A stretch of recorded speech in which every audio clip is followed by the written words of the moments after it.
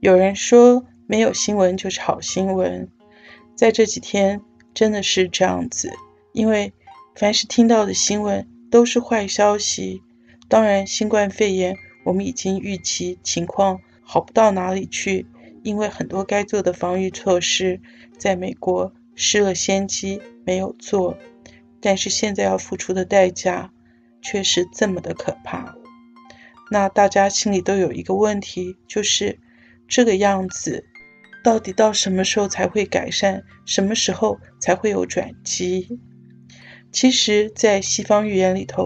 他倒是的确有提到这一点，在我两个礼拜前出的这一本视频跟书里头，《预言中的瘟疫》第十四章就提到了，在他预言的第四章第三十节里，就提到了什么时候这一场灾难才会过去。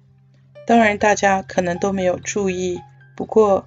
在今天听了美国学者专家的发言以后，我发现他们说的这个日子跟我当时解出来的日子似乎是蛮接近的，所以我今天就把这一个拿出来讲给大家听一听，让你们觉得我讲的有没有道理。十一次，太阳和月亮都不是我们想要的，所有都按度数升高跟降低。放得太低，以至于无法缝制金子。这样，在饥荒瘟疫之后，秘密就被发现了。我以前曾经讲过，跟西方的预言比起来，我们中国的推背图、烧饼歌是太容易解、太清楚明白了。你们看了这一句预言，你大概就了解我的意思。这个真的不知道从何解起，对不对？不过我们现在来看，太阳跟月亮不再是想要的，我们要的是太阳跟月亮的光。如果它们没有光的话，是不是就是我们不要的？而且下一句，所有的都按度数升高跟降低。你知道日食、月食的时候，它都是一点一点的移开，所以就是一度一度的移。然后他说放的太低，以至于无法。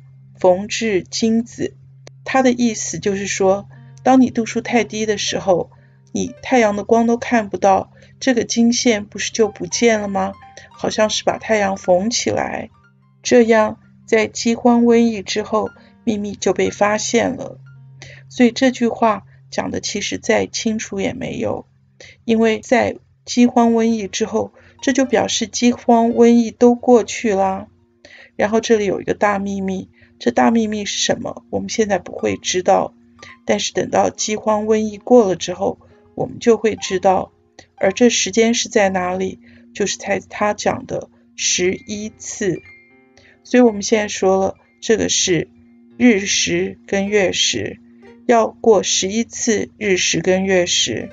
所以我们第一个是在十二月二零一九年，然后。二零二零年有六次日食月食，再加上二零二一年有四次，最后一次就是二零二一年十二月四号，也就是瘟疫应该平息的时候。距今应该是二十个月多，跟美国的专家讲说，这大概还要十八个月，好像也差不多。如果专家跟预言家讲的都是事实的话，那我们现在就有另外一个问题了：要撑撑几个月没问题，要撑两年，有多少人撑得过？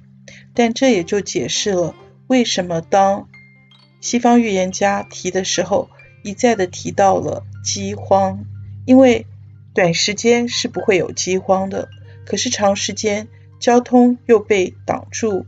又没有人敢去瘟疫区，那在瘟疫肆虐的地方，那的确就可能会有饥荒出现。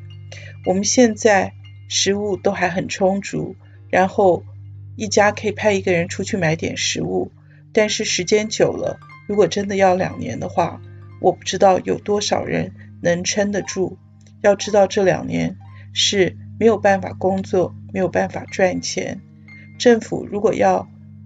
补贴的话，它能补贴一个月、两个月，它能补贴多久？我不是危言耸听，但是这个的确是让我既担心又烦恼的一件事。今天的预言就解到这里，我们有机会的话，下次再谈吧。我是王世云，也是神秘解码课，谢谢大家的收看。